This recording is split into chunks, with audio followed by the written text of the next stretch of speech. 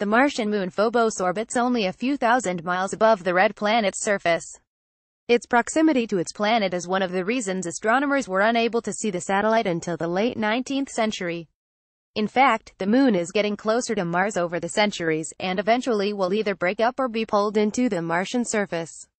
Robotic probes on Mars' surface can see Phobos passing overhead in the early 17th century. German astronomer Johannes Kepler proposed that Mars might host two moons, given that it lay between the Earth and Jupiter, which were known to have one and four satellites. No evidence of such moons could be found. Although most people thought that Mars had no moons, American astronomer Asaph Hall performed a methodical study from the U.S. Naval Observatory in Washington, D.C., searching closer to the planet than previous surveys. After searching without success, a frustrated Hall was about to give up but his wife, Angelina, urged him to continue. The next night, August 12, 1877, he discovered the moon that would later be known as Deimos. Six days later, he found Phobos as well. The two moons lay so close to the planet that they were hidden by the glare of Mars. Asteroid size, they are also two of the smallest moons in the solar system, with the larger Phobos 7.24 times as massive as its companion, Deimos. In Greek mythology, Phobos was one of the sons of the god of war Ares Mars to the Romans. The twin sons attended their father in battle. Phobos means fear as in phobia, while Deimos means flight especially in the sense of fleeing after a defeat, according to NASA. NASA's Mars rover Curiosity snapped this photo of the larger Martian moon Phobos during a Mars sky observing session. Phobos is Mars' larger moon, but only 14 miles across. Image released September 26, 2012. Credit NASA JPL It took almost another century for scientists to begin to understand the two tiny Martian moons. In 1971, NASA's Mariner 9 spacecraft became the first man-made satellite to orbit another planet. Images from the craft revealed that both Phobos and Deimos have lumpy, potato-like shapes, rather than spherical like most moons. Observations of Phobos were limited by the tidal locking of the moon to the planet, resulting in the same side always facing outward. As the exploration of continued, scientists were able to learn more information about the satellites circling Mars. The Viking orbiter flew by in the late 1970s. The Soviet Phobos 2 mission, NASA's Mars Global Surveyor, and the European Mars Express all provided more clues about the two curious moons. Rovers from the planet's surface even got in on the act, with Spirit, Opportunity, and Curiosity all providing images from the ground. NASA's MAVEN Mars Atmosphere and Volatile Evolution mission has also imaged the moon to try to learn more about Phobos' composition. In 2011, Russia attempted to send a mission to the Martian moon called Phobos Grunt, which was supposed to come back to Earth in 2014 bearing a small sample of the moon. The spacecraft, however, was marooned in Earth orbit due to issues with its rocket. Phobos Grunt fell back to Earth in early 2012 and crashed into the Pacific Ocean. NASA may not be finished with Phobos yet.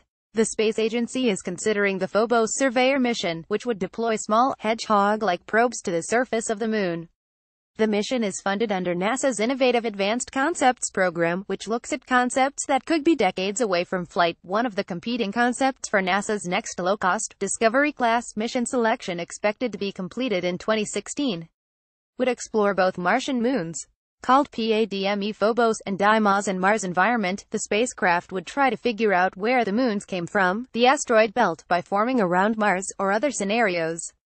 If selected, this mission would launch in 2020 and arrive in 2021.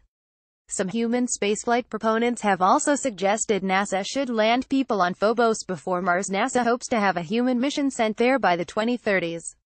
The examination of Phobos and its companion revealed more than their odd, non-spherical shapes. The two moons are dark gray in color, and heavily cratered. The moons are some of the darkest, least reflective objects in the solar system. After observing the pair, scientists concluded that they were made of material similar to type 1 or 2 carbonaceous chondrites, the material that makes up asteroids and dwarf planets. The composition and odd shape led some scientists to conclude that Phobos and Deimos came from the asteroid belt, with Jupiter's gravity long ago nudging them into orbit around Mars. However, scientists aren't certain that the asteroid belt is the source of the moon's birth. Both have a nearly circular orbit unusual for captured objects. The thin atmosphere of Mars would have a hard time providing the necessary braking to settle the pair into their present-day orbits. Similarly, the moons are not as dense as objects in the asteroid belt. Instead, the moons may have formed as satellites around Mars, with dust and rock drawn together by gravity. A more violent birth may have occurred by collision. A large impact or smashing into the red planet could have sent pieces flying into the air, where gravity may have drawn them together. An existing moon might also have been destroyed, creating the rubble that later formed Phobos and Deimos. Traveling only 3,700 miles 6,000 kilometers above the Martian surface, Phobos flies around the red planet three times a day. Crossing the sky in about four hours, the moon appears to rise in the west and set in the east. Many science fiction films feature large moons dominating alien skies, but despite its proximity to its planet, Phobos is only a third as wide as the full moon seen from Earth. On the other hand, Mars dominates the horizon of Phobos, taking up a fourth of the sky. But Phobos won't zip around Mars forever. The doomed moon is spiraling inward at a rate of 1.8 centimeters 7 tenths of an inch per year, or 1.8 meters about 6 feet each century. Within 50 million years, the moon will either collide with its parent planet or be torn into rubble and scattered as a ring around Mars.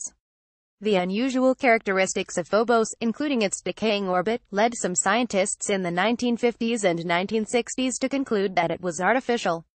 One prominent proponent was the science advisor to President Dwight D. Eisenhower.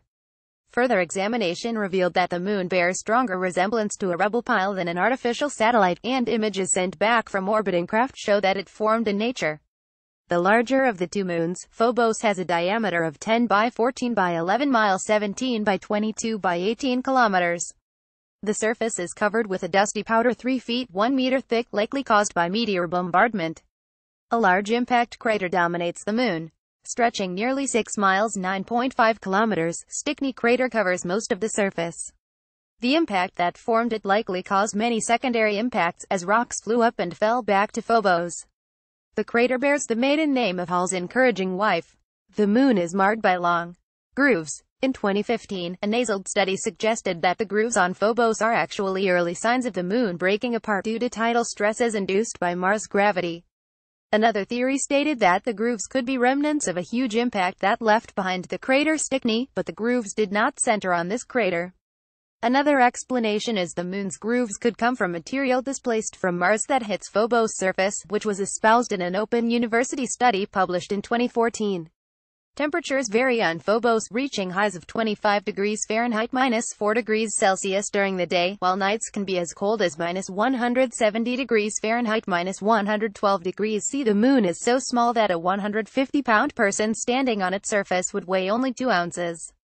Radius of Moon 6.9 miles 11.1 kilometers Semi-major axis around Mars. Distance from planet center 5,826 miles 9,376 kilometers. Closest approach 5,738 miles 9,234 kilometers. Farthest approach 5,914 miles 9,518 kilometers. Orbit eccentricity 0.0151 Orbit inclination 1.075 degrees. Time to make one orbit 7.65 hours. Mass 1.0659 times 10 to the 16 kilograms density 1.872 gcm cubed surface gravity 0.0057 milliseconds squared. Escape velocity 25 miles per hour 41 kilometers per hour. Additional reporting by contributor Elizabeth Howell